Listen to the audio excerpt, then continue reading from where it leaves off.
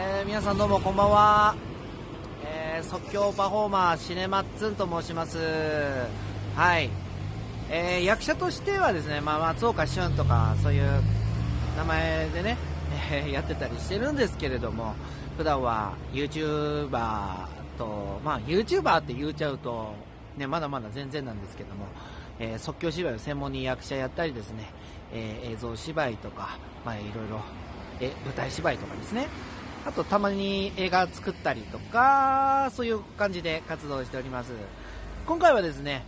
香川亮監督のえー、日本版の祈りの花という作品に参加させていただきまして、えー、ありがたいことにですね、主演をさせていただきました。この作品ですね、海外版もございまして、海外版ではみち子というタイトルでね、あの、香川さんの病院時代というか、まあ、昔、その精神病院とかで、えー、実体験を含めた、まあ、フィクションとなってるんですけれども、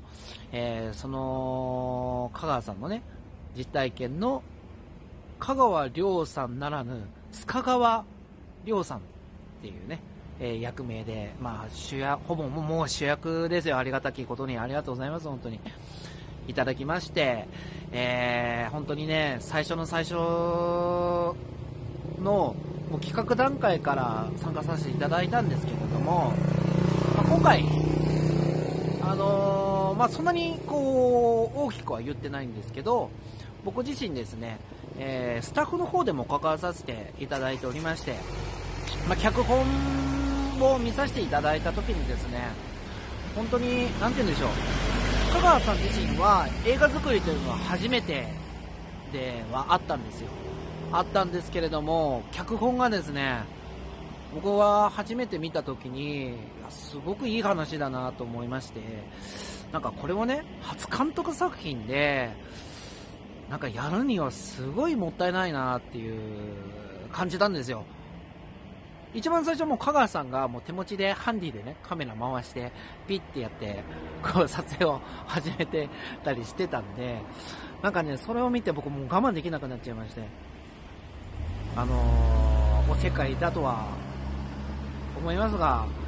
いろいろね、プロのスタッフさんとかご紹介させていただいたり、えー、まあ、脚本に関してはね、香川さんのもんなんで、僕は一切ノータッチなんですけど、もう本当に少しでも作品が良くなればなっていう、まあ、本当にそういう思いで、えー、参加させていただいてました。はい。まあ、本当にあの、なんでしょう。あの、映像作品とかで、まあ、主演をやらさせていただくっていうのは、まあ、いろんなね、あのー、重圧というか、まあ、プレッシャーとかもあったりするんですけれども、僕自身も、まあ、もともと精神的にね、参ってた時期とか、あの、結構ね、精神的にこう不安定な時期とかがあって、いろいろ共感するとことかもね、あったんじゃないかなっていうのはね、思ったりして、なので、まあ、今回は、まあ、僕の役どころの、まあ、須賀川が病んでたっていう話ではないんですけど、なんかね、共感することがすごく多かったです。作品的に。はい。もう、すでに海外のね、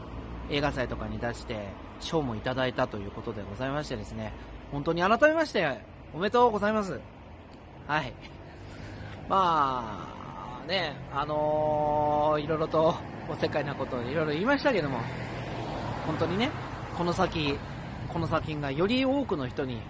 見ていただけれるようにですね、えー、僕自身も応援してますし、えー、スタッフの方々とか、まあ、キャストの方々含めてね、また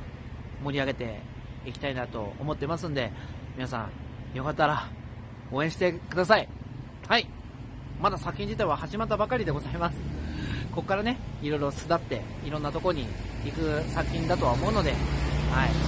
ぜひ、えー、祈りの花、そしてみちこ、